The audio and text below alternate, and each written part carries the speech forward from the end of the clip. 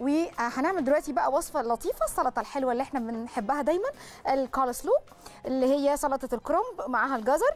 آه، مكوناتها بسيطة قوي. أنا النهارده هعملها بس بمكونات سهلة وخفيفة شوية.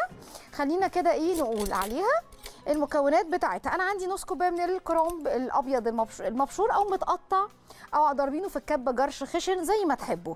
ومعاه الاثنين جزره مفرومين. برضو بنفس الطريقة أو مبشورين زي ما حضراتكم تحبوا.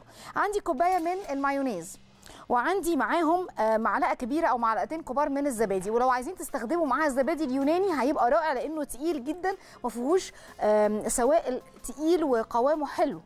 آه، وعندي معلقة كبيرة من عصير الليمون معلقة كبيرة سكر أو معلقة كبيرة عسل أبيض ورشة الملح. هي بسيطة جدا.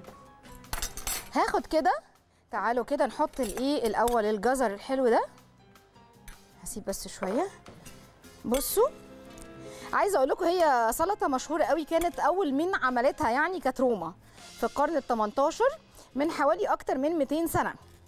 وهي كلمة هولندية الأصل معناها سلطة الكرومب باللغة بتاعتهم. وصلت طبعا لأمريكا عن طريق الهولنديين اللي عايشين في نيويورك. طيب أنا هاخد كده.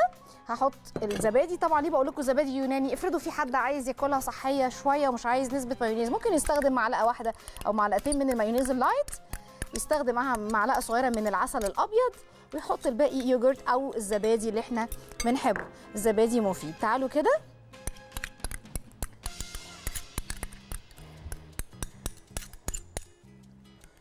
بصوا بقى الزبادي ده يعني تعزيز للمناعة بيظبط ضغط الدم جدا بينزل الوزن الناس اللي بتعمل diet. الناس اللي بتخاف من cancer القولون بيقوي الأسنان بيحمي اللثه من النزيف.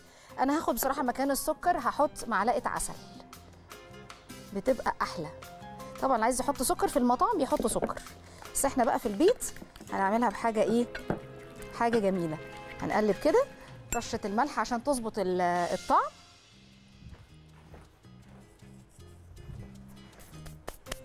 هنحط معاها كمان عصير ليمون. عصير ليمون. بسم الله. بس كده. خلاص هنقلب بقى الخليط ده.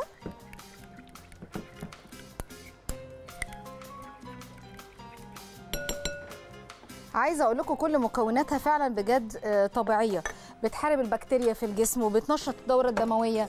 كرنب في حد ذاته كمان مفيد جدا. خليني بقى إيه آخد كده سباتولا. هنزل منها.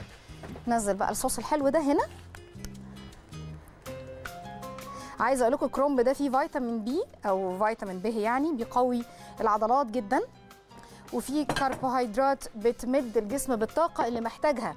وبوتاسيوم بيعالج الضغط العالي وبتحافظ على توازن الأملاح في الجسم. بصوا. والجزر فيه زنك بيعزز آه، جدا. نمو الجسم وكمان مفيد للناس. الولاد بقى شربوهم جزر في الشتاء إحنا داخلين على الشتاء اهو مع البرتقال. مهم قوي. بصوا أنا هعمل كده بس أنا بقى في اضافة كده لازم تحطوها حاجة بسيطة قوي. شوية لبن. شوية لبن بقى هيظبطوا الأداء ده. بصوا السلطة لوحدها تتكلم عن نفسها. طبعا لازم تسيبوها شوية تصلصل كده وتنزل شوية من السوائل بتاعتها دي. لكن أنا هضيف لها معلقة أو معلقتين بس مع يعني من اللبن. هتظبط جدا وهتبقى جميلة. بسم الله. هاخد كده شوية لبن صغيرين. بسم الله. الرحمن الرحيم اهم أهو. شايفين إزاي؟ وهحطهم. أهو. كلوا بقى أحلى. آه، كالسلو سقعوها بقى حلو واتبسطوا بيها جدا. إن شاء الله. حاجة كده في البيت رائع تعالوا بقى نقدمها مع بعض. بسم الله الرحمن ومعانا ام محمود. يا أهلا وسهلا. يا صباح الفل. يا صباح الفل يا ام محمود. العسل عليك. حبيبتي صباحك فل يا روح قلبي. انت بتعملي الحاجات اللي عايزينها إزاي؟ يا حبيبة قلبي. ولازم بس وهنا. يقولوا لي عايزين ننزل تعزمينا في حتة أو تجيب لنا أيوة. المقرمشة. يا حبيبتي صحة وهنا على قلبهم. جربي بس وقولي لي رأيك. في التتبيلة. الله يسعدك. حاجة جميلة. حبيبتي تسلمي لي طازة، ولا فيها مواد ضارة ولا فيها حاجات من الحاجات اللي هي وضامنينها بقى جميلة وحلوة. إن شاء الله يا رب يستمتعوا بيها وتعجبك الوصفة دي. إن شاء الله نعملها. إن شاء أنا الله. عايزة استأذن حضرتك بقى كل سنة وأنت طيبة. أيوه. المدارس. أيوه. إحنا بقى عايزين إيه حاجات حلوة كده وخفيفة. أعرف إيه ياخدوها معاهم. طيب حاضر. وخلي بالك الدرامز دي يقدروا ياخدوها برضو ما هو الولاد بياخدوا الناجتس وبياخدوا ال strips. يقدروا ياخدوا الدرامز دي معاهم اللي هي الدبابيس الحلوة دي برضو أيوه أيوه. وادوهم سلطة طبيعية كده. هعمل لك وإن شاء الله الأسبوع ده فيه حاجات جميلة كمان. بإذن الله.